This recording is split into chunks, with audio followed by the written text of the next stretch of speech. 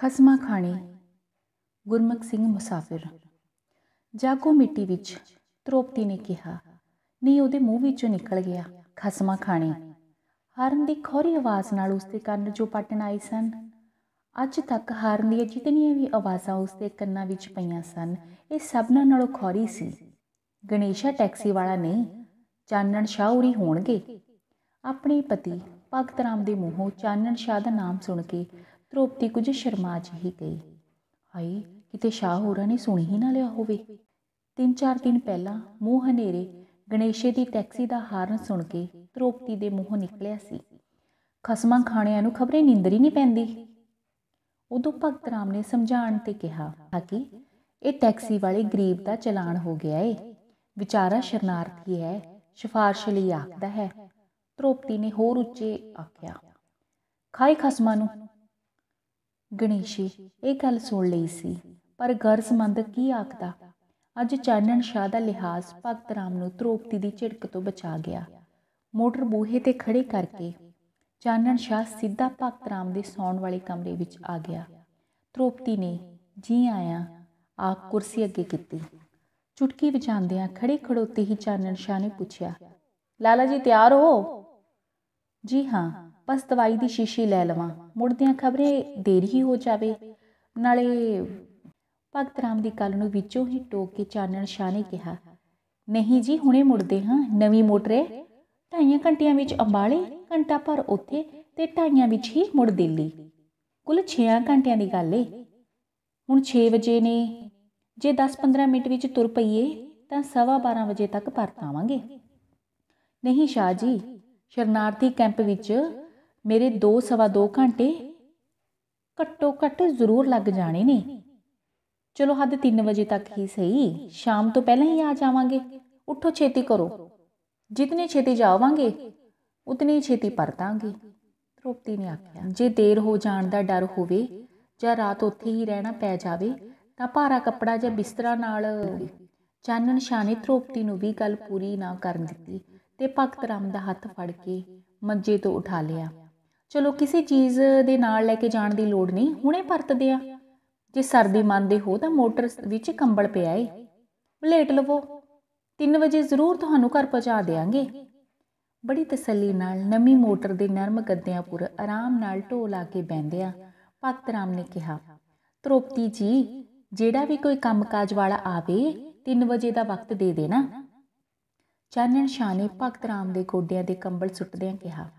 ਬਸ ਤੁਸੀਂ deputy commissioner ਨੂੰ ਮੂੰਹ ਵਿਖਾਣਾ ਹੈ ਤੇ ਸਾਡਾ ਕੰਮ ਹੋ ਜਾਣਾ ਹੈ। ਫਿਰ ਤੁਸੀਂ ਜਿੱਥੇ ਜਾਣਾ ਹੋਇਆ ਜਾਇਓ। ਬੜੀ ਖੁਸ਼ੀ ਨਾਲ। ਪੈਟਰੋਲ ਬਤੇਰਾ ਹੈ।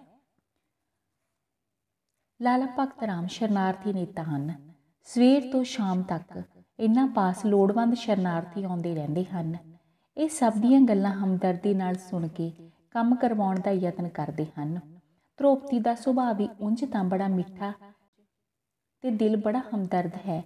ਪਰ ਸਵੇਰੇ ਜਾਗਣ ਤੋਂ ਪਹਿਲਾਂ ਤੇ ਰਾਤੀ ਸੌਂ ਜਾਣ ਤੋਂ ਪਿੱਛੋਂ ਤੱਕ ਜਿਹੜੇ ਆਦਮੀ ਬੂਹੇ ਭੰਨਦੇ ਰਹਿੰਦੇ ਹਨ, ਉਹਨਾਂ ਤੋਂ ਉਹ ਕਦੇ ਬੜੀ ਔਖੀ ਹੋ ਜਾਂਦੀ ਹੈ। ਹੁਣ ਮੋਟਰ ਕੁਆਟਰੋਂ ਬਾਹਰ ਨਿਕਲੀ ਹੀ ਸੀ ਕਿ ਇੱਕ ਸ਼ਰਨਾਰਥੀ ਨੇ ਲਾਲਾ ਭਗਤ ਰਾਮ ਬਾਰੇ ਆਣ ਪੁੱਛਿਆ। ਤ੍ਰੋਪਤੀ ਨੇ ਚਾਨਣ ਸ਼ਾਹ ਨਾਲ ਅੰਬਾਲੇ ਜਾਣ ਬਾਰੇ ਦੱਸਿਆ, ਤਾਂ ਉਹ ਬੁੜਬੁੜ ਕਰਦਾ ਚਲਾ ਗਿਆ। ਸਰਮਾਈਦਾਰਾਂ ਨਾਲ ਉੱਡ ਕੇ ਤੁਰ ਪੈਂਦੇ ਨੇ। ਜੇ ਅੱਜ ਮੇਰੇ ਨਾਲ ਕਸਟੋਡੀਅਨ ਪਾਸ ਨਾ ਗਏ ਤਾਂ ਸ਼ਾਮੀ ਭਾਂਡਾ ਟਿੱਕਰ ਸੜਕ ਤੇ ਹੋਸੀ ਇਹ ਅਜੇ ਗਿਆ ਹੀ ਸੀ, ਇੱਕ ਹੋਰ ਆਣ ਡੁੱਸ ਗਿਆ ਮੇਰਾ ਕਰਜ਼ਾ ਮਨਜ਼ੂਰ ਤਾਂ ਕਰਵਾ ਦਿੱਤਾ ਨੇ। ਲੈਣ ਲਈ ਜ਼ਮਾਨਤ ਕੌਣ ਦੇਵੇ? ਮੇਰੀ ਪਤਲੀ ਦੇ ਕਾਗਜ਼ਾਂ ਤੇ ਅੱਜ ਦਸਤਖਤ ਹੋ ਜਾਣੇ ਨੇ। ਮਕਾਨ ਸੰਬੰਧੀ ਸ਼ਰਨਾਰਥੀਆਂ ਨਾਲ ਭਰਿਆ ਪਿਆ ਹੈ। ਮਾਤਾ ਪਿਤਾ ਬੁੱਢੇ ਹਨ। ਘਰਵਾਲੀ ਪੂਰਿਆਂ ਦਿਨਾਂ ਤੇ ਹੈ। ਜਿੱਥੇ ਬਦਲੀ ਕਰਦੇ ਨੇ ਉੱਥੇ ਰਹਿਣ ਲਈ ਟੈਂਟ ਦਾ ਵੀ ਪ੍ਰਬੰਧ ਨਹੀਂ। ਮੈਂ ਪਸ਼ਾਵਰ ਵਿੱਚ ਏਡੀਐਮ ਸਾਂ। ਇੱਥੇ ਕਲਰਕੀ ਮਿਲੀ ਹੈ। ਉਸ ਤੋਂ ਵੀ ਹਟਾਉਣ ਦੀ ਤਜਵੀਜ਼ਾਂ ਹੋ ਰਹੀਆਂ ਨੇ। ਭੈਣ ਜੀ 160 ਬੰਗਲਿਆਂ ਦੇ ਮਾਲਕ ਨੂੰ ਇੱਥੇ ਇਸੇ ਕੋਠੀ ਦੇ ਬਰਹਾਂਡੇ ਵਿੱਚ ਵੀ ਟਿਕਾਣਾ ਨਾ ਮਿਲੇ। ਦੱਸੋ ਕਿੱਥੇ ਸਿਰ ਲੁਕਾਈਏ? ਧਰੋਪਤੀ ਅੱਜ ਸਾਰੇ ਆਉਣ। ਆਉਣ ਵਾਲੇ ਸ਼ਰਨਾਰਥੀਆਂ ਦੇ ਇਹ ਕੰਮ ਸੁਣ ਕੇ 3 ਵਜੇ ਆਉਣ ਦਾ ਵਕਤ ਦਿੰਦੀ ਹੈ। ਨਰਮ ਤੇ ਨਾਜ਼ੁਕ ਪਾਣੀ ਦੀਆਂ ਬੂੰਦਾਂ ਲਗਾਤਾਰ ਵਸ-ਵਸ ਕੇ ਪੱਥਰ ਦੀਆਂ ਸਖਤ ਚਟਾਨਾਂ ਵਿੱਚ ਵੀ ਆਪਣੀ ਥਾਂ ਬਣਾ ਲੈਂਦੀਆਂ ਹਨ। ਧਰੋਪਤੀ ਦੇ ਹਿਰਦੇ ਵਿੱਚ ਤਾਂ ਇੱਕ ਮਾਂ ਦਾ ਦਿਲ ਹੈ। ਪਤੀ ਗਿਆ, ਪੁੱਤ ਗਿਆ, ਹੁਣ ਪੱਤ ਵੀ ਜਾਂਦੀ ਹੈ। ਇੱਕ ਅਧਕੜ ਜਿਹੀ ਉਮਰ ਦੀ ਸ਼ਰਨਾਰਥਣ ਦੇ ਮੂੰਹੋਂ ਇਹ ਸ਼ਬਦ ਸੁਣ ਕੇ ਧਰੋਪਤੀ 3 ਵਜੇ ਆਉਣ ਲਈ ਉਸ ਨੂੰ ਆਖਣ ਹੀ ਲੱਗੀ ਸੀ ਕਿ ਸ਼ਰਨਾਰਥਨ ਨੇ ਆਪਣੀ ਵਿਥਿਆ ਆਰੰਭ ਦਿੱਤੀ। ਅੱਜ ਜੀਬ ਨਹੀਂ, ਪਰ ਜੀਬ ਤੋਂ ਬਿਨਾ ਵੀ ਨਹੀਂ। ਇਉਂ ਪ੍ਰਤੀਤ ਹੋਇਆ, ਜਿਵੇਂ ਦੁਖੀ ਸ਼ਰਨਾਰਥਣ ਦੀ ਦਰਦ ਕਹਾਣੀ ਉਸ ਦੀ ਜ਼ਬਾਨ ਤੇ ਧਰੋਪਤੀ ਦੀਆਂ ਅੱਖਾਂ ਤੋਂ ਇੱਕ ਸਾਥ ਹੀ ਸੁਣਾਈ ਜਾ ਰਹੀ ਹੈ। ਇਸ ਆਪ ਧਿਆਨੇ ਵਿੱਚ ਧਰੋਪਤੀ ਹੋਰਾਂ ਆਉਣ ਵਾਲਿਆਂ ਨੂੰ 3 ਵਜੇ ਦਾ ਵੀ ਦੇਣੋਂ ਵੀ ਇੱਕ ਵੇਰ ਭੁੱਲ ਗਈ। ਇੱਕ ਹੋਰ ਬੀਜੀ, ਜਿਸ ਨੇ ਆਪਣੇ ਗੋਰੇ ਨਿਛੋ ਜਿਹੇ ਸਰੀਰ ਨੂੰ ਲੀਰੋ ਲੀਰ ਹੋ ਚੁੱਕੀ ਮੈਲੇ ਕੁਲੱਟ ਦੁਪੱਟੇ ਨਾਲ ਮਸਾਂ ਹੀ ਕੱਜਿਆ ਹੋਇਆ ਸੀ। ਧਰੋਪਤੀ ਵੱਲ ਆਉਂਦੀ ਦਿਸੀ। ਸਰੀਰ ਦੇ ਅਗਲੇ ਹਿੱਸੇ ਨੂੰ ਕੱਜਣ ਲਈ ਉਸ ਦਾ ਸਿਰ ਇਤਨਾ ਝੁਕਿਆ ਹੋਇਆ ਸੀ ਕਿ ਉਹ ਸਾਹਮਣੇ ਆਉਂਦੇ ਜਾਂਦੇ ਨੂੰ ਨਹੀਂ ਸੀ ਵੇਖ ਸਕਦੀ। ਧਰਤੀ ਦੀਆਂ ਅੱਖਾਂ ਗੱਡੀ ਉਹ ਬੂਹੇ ਅੱਗੇ ਪੁੱਜੀ ਤਾਂ ਮੁਠਾ ਤੇ ਆਪ ਧਿਆਨੇ ਸੋਚਾਂ ਵਿੱਚ ਖੜੇ ਇੱਕ ਸ਼ਰਨਾਰਥੀ ਦਾ ਸਿਰ ਉਸ ਦੀ ਵੱਖੀ ਵਿੱਚ ਲੱਗਾ। ਉਹ ਧੜਮ ਕਰਕੇ ਡਿੱਗੀ। ਡਿੱਕਣ ਦੀ ਆਵਾਜ਼ ਨੇ ਧਰੋਪਤੀ ਨੂੰ ਉਸ ਦੀ ਹੋਣ ਦਾ ਗਿਆਨ ਕਰਵਾਇਆ। ਡਿੱਕਣ ਵਾਲੀ ਔਰਤ ਨੂੰ ਧਰੋਪਤੀ ਨੇ ਪਹਿਲਾਂ ਸ਼ਰਨਾਰਥਣ ਦੀ ਮਦਦ ਲਈ ਬਾਹਰਲੇ ਕਮਰੇ ਵਿੱਚ ਵਿਛੀ ਹੋਈ ਮੈਲੀ ਜਿਹੀ ਲੋਕਾਂ ਦੀਆਂ ਜੁੱਤੀਆਂ ਨਾਲ ਮਿੱਟੀਓ ਮਿੱਟੀ ਹੋਈ ਪਈ ਦਰੀ ਉੱਤੇ ਲਟਾ ਦਿੱਤਾ। ਕਮਰੇ ਵਿੱਚ ਬੈਠੇ ਹੋਰ ਸਾਰਿਆਂ ਨੂੰ ਧਰੋਪਤੀ 3 ਵਜੇ ਆਇਓ, ਆ ਕੇ ਉਠਾ ਦਿੱਤਾ। ਡਿੱਗਣ ਵਾਲੀ ਦੀ ਬੇਹੋਸ਼ੀ ਨੂੰ ਵੇਖ ਕੇ ਧਰੋਪਤੀ ਦੇ ਹੋਸ਼ ਗੁੰਮ ਗਏ। ਮੁੜਕੋ ਮੁੜਕੀ ਹੋਈ ਨੂੰ ਕੁਝ ਹੱਥ ਪੈਰ ਜਿਹੇ ਪੈ ਗਏ। ਪਹਿਲੀ ਬੈਠੀ ਸ਼ਰਨਾਰਥਣ ਨੇ ਉੱਠ ਕੇ ਅੰਦਰੋਂ ਬੂਹਾ ਬੰਦ ਕਰ ਦਿੱਤਾ ਸੀ। ਘਬਰਾਈ ਹੋਈ ਧਰੋਪਤੀ ਨੇ ਬੂਹੇ ਦੀ ਝਾਤ ਚੋਂ ਬਾਹਰ ਝਾਕਿਆ ਹੀ ਸੀ ਕਿ ਹਾਰਨ ਦੀ ਆਵਾਜ਼ ਦੇ, ਕਿ ਹਾਰਨ ਦੀ ਆਵਾਜ਼ ਉਸਦੇ ਕੰਨਾਂ ਵਿੱਚ ਪਈ ਹੈ। 3 ਵਜ ਗਏ ਨੇ। ਉਹ ਇਹ ਤਾਂ ਗਣੇਸ਼ਾਏ ਖਸਮਾ ਖਾਣਾ। ਪਿਛਲੇ ਲਫ਼ਜ਼ ਧਰੋਪਤੀ ਦੇ ਮੂੰਹੋਂ ਸੁੱਤੇ ਸਿੱਧ ਹੀ ਨਿਕਲ ਗਏ। ਪਰ ਉਸ ਦਾ ਮਨ ਕੁਝ ਸੋਚਾਂ ਜੀਆਂ ਵਿੱਚ ਪੈ ਗਿਆ। ਗਣੇਸ਼ੇ ਨੂੰ ਇਸ਼ਾਰੇ ਨਾਲ ਸੱਦ ਵੀ ਲਿਆ। ਉਸ ਨੂੰ ਕੋਈ ਕੰਮ ਦੱਸਣ ਲਈ ਕੁਝ ਸੰਕੋਚ ਹੈ, ਪਰ ਮਜਬੂਰੀ ਹੈ। Karol Bagh Gurdwara road lady doctor Kartar Kaur ਦਾ ਨਾਂ ਪੁੱਛ ਲਈ। ਗਣੇਸ਼ਾ ਸਾਰੀ ਦਿੱਲੀ ਦਾ ਵਾਕਫ ਹੋ ਚੁੱਕਾ ਸੀ। ਧਰੋਪਤੀ ਦੇ ਮੂੰਹੋਂ ਇਹ ਲਫ਼ਜ਼ ਸੁਣਦਿਆਂ ਹੀ ਟੈਕਸੀ ਲੈ ਕੇ ਉੱਡ ਗਿਆ। ਗਣੇਸ਼ੇ ਨੇ ਝਟ ਵਾਪਸ ਆਣ ਕੇ ਵਿਹੜੇ ਵੜਦਿਆਂ ਹੀ ਜ਼ੋਰ ਦਾ ਹਾਰਨ ਵਜਾਇਆ। ਪਰ ਧਰੋਪਤੀ ਦੇ ਕੰਨ ਇਸ ਵੇਲੇ ਸਿਰਫ ਸ਼ਰਨਾਰਥਣ ਦੀ। ਪੀੜਤ ਹਾਈ ਹਾਈ ਤੇ ਨਵੇਂ ਆਏ ਜੀ ਦੀ ਰੁਣਾਕੀ ਚੀਂ-ਚੀਂ ਸੁਣਨ ਵਿੱਚ ਹੀ ਪੂਰੇ ਰੁੱਝੇ ਹੋਏ ਸਨ। ਲੇਡੀ ਡਾਕਟਰ ਨੂੰ ਵੇਖ ਕੇ ਧਰੋਪਤੀ ਨੇ ਸੁੱਖ ਦਾ ਸਾਹ ਲਿਆ। ਜਣਨੀ ਦੀ ਹਾਲਤ ਵੇਖ ਪਾ ਕੇ ਕਰਤਾਰ ਕੌਰ ਨੇ ਧਰੋਪਤੀ ਦੀ ਸਿਫਤ ਕੀਤੀ। ਟੈਕਸੀ ਵਾਲੇ ਦੇ ਚਲੇ ਜਾਣ ਪਿੱਛੋਂ ਮੈਨੂੰ ਖਿਆਲ ਆਇਆ, ਨਹੀਂ ਤੇ ਟੈਲੀਫੋਨ ਹੀ ਕਰਵਾ ਦਿੰਦੀ। ਤੁਸੀਂ ਇੱਕ ਵੇਰ ਨੋਟ ਕਰਵਾਇਆ ਸੀ। ਧਰੋਪਤੀ ਦੀ ਗੱਲ ਸੁਣ ਕੇ ਲੇਡੀ ਡਾਕਟਰ ਨੇ ਕਿਹਾ, ਹਾਂ, ਉਹ ਕੁਮੰਡਾ ਸਿੰਘ ਉਹਨਾਂ ਦਾ ਨੰਬਰ ਸੀ। ਪਰ ਹੁਣ ਤੇ ਉਹ ਸੁਨੇਹਾ ਹੀ ਨਹੀਂ ਪਹੁੰਚਾਉਂਦੇ, ਪੈਸੇ ਵਾਲੇ ਆਦਮੀ ਨੇ। ਹਾਂ, ਜੇ ਆਪਣੇ ਕਿਸੇ ਸਬੰਧਾਂ ਜਾਂ ਮਿਲਣ ਗਿਲਣ ਵਾਲੇ ਦਾ ਕੰਮ ਹੋਵੇ, ਤਾਂ ਤੁਰੰਤ ਬੰਦਾ ਭੇਜ ਦਿੰਦੇ ਨੇ ਖਸਮਾ ਖਾਣੇ। ਪੈਸੇ ਦਾ ਐਡਾ ਕਮਾਂਡ ਧਰੋਪਤੀ ਦੀ ਹਮਦਰਦੀ ਵੇਖ ਕੇ ਲੇਡੀ ਡਾਕਟਰ ਨੇ ਜਾਨੀ ਸ਼ਰਨਾਰਥਣ ਦਾ ਪਤਾ ਨੀਵਾ ਪੁੱਛਿਆ। ਧਰੋਪਤੀ ਨੇ ਸਾਰੀ ਵਾਰਤਾ ਸੁਣਾ ਕੇ ਕਿਹਾ ਇਸ ਦਾ ਪਤਾ ਨੀਵਾ ਤੇ ਅਸਾਂ ਅਜੇ ਪੁੱਛਿਆ ਹੀ ਨਹੀਂ। ਜ਼ਰਾ ਠੀਕ ਠਾਕ ਹੋ ਲਵੇ। ਇਹ ਵੀ ਚੰਗਾ ਹੋਇਆ ਕਿ ਕਿਤੇ ਸੜਕ ਤੇ ਹੀ ਵਿਚਾਰੀ ਅੱਛਾ ਭੈਣ ਧਰੋਪਤੀ ਮੈਂ ਤੇ ਆਪਣਾ ਰੋਣਾ ਰੋਣ ਵੀ ਤੁਹਾਡੇ ਆਉਣਾ ਸੀ।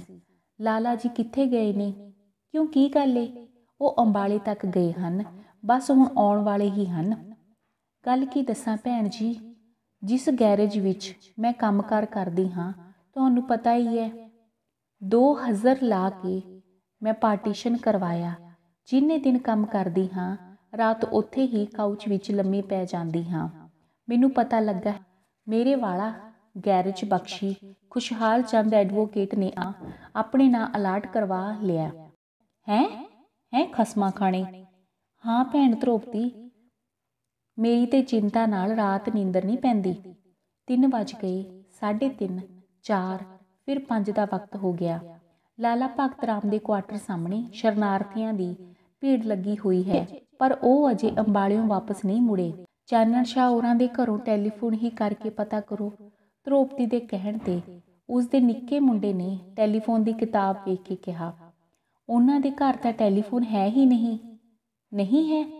ਲਾਲਾ ਜੀ ਨੇ ਹੁਣੇ ਹੀ ਕੋਸ਼ਿਸ਼ ਕਰਕੇ ਲਵਾ ਦਿੱਤਾ ਧਰੋਪਤੀ ਦੀ ਗੱਲ ਸੁਣ ਕੇ ਇੱਕ ਸ਼ਰਨਾਰਥੀ ਨੇ ਕਿਹਾ, ਲਾਲਾ ਜੀ ਵੀ ਭੱਜ ਕੇ ਸਰਮਾਏਦਾਰਾਂ ਦੇ ਕੰਮ ਹੀ ਕਰਦੇ ਨੇ। ਖਸਮਾਂ ਖਾਣੇ, ਨੁਕਸ ਛੰਟਣ ਆ ਜਾਂਦੇ ਨੇ। ਸਰਮਾਏ ਬਿਨਾ ਕੋਈ ਕੰਮ ਵੀ ਚੱਲਦਾ ਹੈ। ਹੁਣ ਚਾਨਣ ਸ਼ਾਹ ਉਰੀ ਲਾਲਾ ਜੀ ਨੂੰ ਆਪਣੀ ਮੋਟਰ ਵਿੱਚ ਬਿਠਾ ਕੇ ਅੰਬਾਲੇ ਵਾਲੇ ਲੈ ਗਏ। ਕੰਮ ਭਾਵੇਂ ਉਹਨਾਂ ਦਾ ਆਪਣਾ ਵੀ ਸੀ, ਪਰ ਲਾਲਾ ਜੀ ਸ਼ਰਨਾਰਥੀਆਂ ਦੀ ਖਬਰ ਲੈਣ ਜਾਣਾ ਸੀ। ਆਰਾਮ ਨਾਲ ਗਏ ਨੇ, ਆਰਾਮ ਨਾਲ ਆ ਜਾਣਗੇ। ਗੱਲ ਕਰਦਿਆਂ ਕਰਦਿਆਂ ਹੀ ਧਰੋਪਤੀ ਨੇ ਆਪਣੇ ਮੁੰਡੇ ਨੂੰ ਫਿਰ ਆਵਾਜ਼ ਦਿੱਤੀ। ਟੈਲੀਫੋਨ ਪੁੱਛਗਿੱਛ ਦੇ ਦਫ਼ਤਰੋਂ ਲਾਲਾ ਚੰਨਣ ਸ਼ਾਹ ਦਾ ਨੰਬਰ ਪਤਾ ਕਰ ਲਵੋ। ਕਿੱਥੋਂ ਬੋਲਦੇ ਹੋ ਜੀ? ਲਾਲਾ ਚੰਨਣ ਸ਼ਾਹ ਦੀ ਕੋਠੀਓਂ। ਸ਼ਾਹ ਹੋਰੀ ਅੰਬਾਲੇ ਗਏ ਸਨ। ਆ ਗਏ? ਉਹਨਾਂ ਨੂੰ ਜ਼ਰਾ ਟੈਲੀਫੋਨ ਦਿਓ। ਤੁਸੀਂ ਥੋੜੀ ਦੇਰ ਨੂੰ ਟੈਲੀਫੋਨ ਕਰਨਾ। ਇਸ ਵੇਲੇ ਉਹ ਬਾਹਰ ਬਗੀਚੇ ਵਿੱਚ ਬੈਠੇ ਹਨ। ਕੁਝ ਪਰੌਣੇ ਆਏ ਹੋਏ ਹਨ। ਪਾਰਟੀ ਹੋ ਰਹੀ ਹੈ। ਅੱਛਾ, ਉਹਨਾਂ ਤੋਂ ਪਤਾ ਕਰ ਦਿਓ, ਲਾਲਾ ਭਗਤ ਰਾਮ ਔਰੀ ਜੋ ਉਹਨਾਂ ਦੇ ਨਾਲ ਗਏ ਸਨ, ਉਹ ਕਿੱਥੇ ਹਨ? ਤੁਸੀਂ ਕੌਣ ਬੋਲਦੇ ਹੋ? ਧਰੋਪਤੀ ਲਾਲਾ ਜੀ ਦੇ ਘਰੋਂ। ਅੱਛਾ, ਇੱਕ ਦੋ ਮਿੰਟ ਉਡੀਕੋ, ਜਾਂ ਆਪਣਾ ਨੰਬਰ ਦੱਸ ਦਿਓ। ਧਰੋਪਤੀ ਆਪਣਾ ਨੰਬਰ ਦੱਸ ਕੇ ਕਰਤਾਰ ਕੌਰ ਨਾਲ ਗੱਲੀ ਲੱਗੀ, ਗੱਲੀ ਲੱਗਣ ਲੱਗੀ ਹੀ ਸੀ ਕਿ ਤੁਰੰਤ ਟੈਲੀਫੋਨ ਦੀ ਘੰਟੀ ਵੱਜੀ। ਹੈਲੋ? ਹਾਂਜੀ? ਸ਼ਾਹ ਜੀ ਆਖਦੇ ਹਨ ਕਿ ਲਾਲਾ ਜੀ ਡਿਪਟੀ ਕਮਿਸ਼ਨਰ ਦੀ ਕੋਠੀ ਤੋਂ ਹੀ ਟਾਂਗਾ ਲੈ ਕੇ ਸ਼ਰਨਾਰਥੀ ਕੈਂਪ ਚਲੇ ਗਏ ਸਨ। ਮੋਟਰ ਵਿੱਚ ਪੈਟਰੋਲ ਥੋੜਾ ਸੀ ਤੇ ਸ਼ਾਹ ਹੋਰਾਂ ਆਪਣੇ ਇੱਕ ਦੋ ਕੰਮ ਹੋਰ ਕਰਨੇ ਸਨ। ਸ਼ਾਹ ਹੋਰਾਂ ਨੇ ਲਾਲਾ ਜੀ ਨੂੰ ਸ਼ਰਨਾਰਥੀ ਕੈਂਪ ਵਿੱਚੋਂ ਨਾਲ ਲੈ ਲੈਣਾ ਸੀ, ਪਰ ਦੂਜੇ ਜ਼ਰੂਰੀ ਕੰਮਾਂ ਵਿੱਚ ਉਹਨਾਂ ਨੂੰ ਢਿੱਲ ਲੱਗ ਗਈ। ਇੱਥੇ ਘਰ ਬੰਦੇ ਚਾਹ ਤੇ ਸੱਦੇ ਹੋਏ ਸਨ। ਜੇ ਕੈਂਪ ਵਿੱਚ ਲਾਲਾ ਜੀ ਨੂੰ ਲੈਣ ਜਾਂਦੇ ਤਾਂ ਢਿੱਲ ਲੱਗ ਜਾਣੀ ਸੀ, ਇਸ ਲਈ ਉਹ ਵਾਪਸ ਆ ਗਏ। ਗਈ ਦਾ ਸ਼ਬਦ ਅਜੇ ਸੁਣਨ ਵਾਲੇ ਦੇ ਮੂੰਹ ਵਿੱਚ ਹੀ ਸੀ ਕਿ ਧਰੋਪਤੀ ਨੇ ਖਸਮਾ ਖਾਣੇ ਆਖ ਜ਼ੋਰ ਨਾਲ ਰਿਸੀਵਰ ਵਗਾ ਕੇ ਮਾਰਿਆ। ਗੱਲ ਸਭ ਨੂੰ ਪਤਾ ਲੱਗ ਗਈ। ਕੰਮਾਂ ਵਾਲੇ ਘਰੋਂ ਘਰੀ ਚਲੇ ਗਏ। ਰਾਤ ਦੀ ਸ਼ਾਂਤੀ ਜਿਉਂ-ਜਿਉਂ ਡੂੰਗੀ ਹੁੰਦੀ ਜਾ ਰਹੀ ਸੀ। ਧਰੋਪਤੀ ਦੀ ਬੇਚੈਨੀ ਵੱਧਦੀ ਜਾਂਦੀ। ਸੜਕ ਤੋਂ ਹਰ ਗੁਜ਼ਰਨ ਵਾਲੀ ਮੋਟਰ ਦੀ ਆਵਾਜ਼ ਉਸ ਨੂੰ ਆਪਣੇ ਵਿਹੜੇ ਵਿੱਚ ਸੁਣੀਂਦੀ ਉਹ ਭੁਲੇਖੇ ਵਿੱਚ ਬੂਹਾ ਖੋਲਦੀ ਤੇ ਮੋਟਰ ਫਰ-ਫਰ ਕਰਦੀ ਅਲੋਪ ਹੋ ਜਾਂਦੀ। ਜਾਨੀ ਸ਼ਰਨਾਰਥਣ ਦੀ ਸੇਵਾ ਸੰਭਾਲ ਧਰੋਪਤੀ ਦੇ ਜਾਗਣ ਦਾ ਚੰਗਾ ਬਹਾਨਾ ਹੈ। ਪਰ ਉਂਝ ਵੀ ਅੱਜ ਉਸ ਦੀਆਂ ਅੱਖਾਂ ਵਿੱਚ ਨੀਂਦਰ ਕਿੱਥੇ? ਪੋ ਮਾਂ ਦੀ ਰਾਤ ਬਗੈਰ ਬਿਸਤਰੇ ਕੋਈ ਭਾਰਾ ਕੱਪੜਾ ਵੀ ਨਹੀਂ ਲੈ ਕੇ ਗਏ ਦਵਾਈ ਬਿਨਾ ਉਹਨਾਂ ਨੂੰ ਨੀਂਦਰ ਨਹੀਂ ਆਉਂਦੀ। ਉੱਠਦਿਆਂ ਬੈਠਦਿਆਂ ਜੰਨੀ ਸ਼ਰਨਾਰਥਣ ਦਾ ਕੱਪੜਾ ਲੀਤਾ ਠੀਕ ਕਰਦਿਆਂ ਕਰਦਿਆਂ, ਮੋਟਰ ਦੀਆਂ ਆਵਾਜ਼ਾਂ ਦੇ ਭੁਲੇਖੇ ਵਿੱਚ ਮੁੜ-ਮੁੜ ਬਾਹਰ ਝਾਕਦਿਆਂ ਕਰਦਿਆਂ ਅੰਗੀਠੀ ਦੀ ਅੱਗ ਫਰੋਲਦਿਆਂ ਫਰਾਲਦਿਆਂ ਧਰੋਪਤੀ ਨੂੰ ਸਵੇਰ ਹੋ ਗਈ।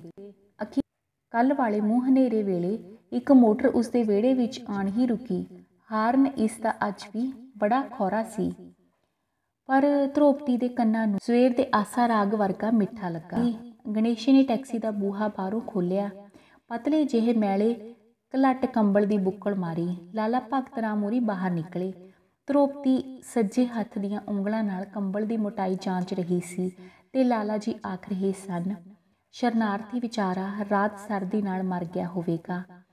ਇੱਕੋ ਤੇ ਉਸ ਪਾਸ ਕੰਬਲ ਸੀ, ਜਿਹੜਾ ਉਸਨੇ ਮੈਨੂੰ ਰੇਲ ਵਿੱਚ ਬਿਠਾਉਂਦਿਆਂ ਬਦੋ ਬਦੀ ਮੇਰੇ ਦੁਆਲੇ ਲਪੇਟ ਦਿੱਤਾ। ਧਰੋਪਤੀ ਨੇ ਖੱਬਾ ਹੱਥ ਕਮੀਜ਼ ਦੀ ਜੇਬ ਵਿੱਚ ਪਾਇਆ। ਸਤਿ ਸ਼੍ਰੀ ਅਕਾਲ ਦੀ ਆਵਾਜ਼ ਉਸ ਦੇ ਕੰਨਾਂ ਵਿੱਚ ਪਈ।